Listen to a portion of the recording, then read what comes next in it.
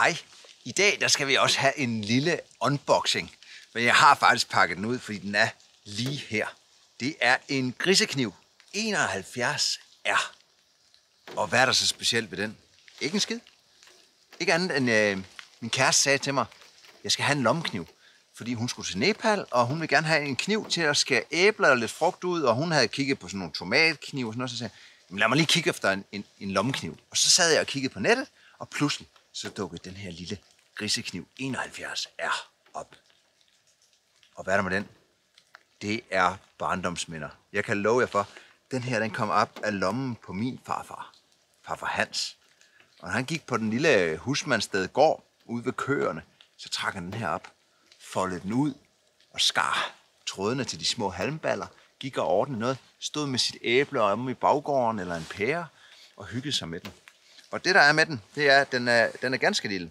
Den er 15 cm samlet, 8,5 cm, når den er foldet sammen. Selve bladet herude er 6,5 cm, men det skærende blad er 4,6 øh, cm. Det vil sige, at man kan sætte sin, sin pegefinger herude, og så sidde og skære. Og det er bare en, en super lille, fin lommekniv, der ikke koster øh, ret meget. Den koster der om, omkring en 800 kroner, alt efter hvor du kigger. Øhm, og, og, den er super nem, og den er solid, den kan nemt slibes op, det er godt stål. Og, og kommer jeg til at bruge den? Jamen, jeg har simpelthen så mange lommeknive. men jeg blev så glad for at se den.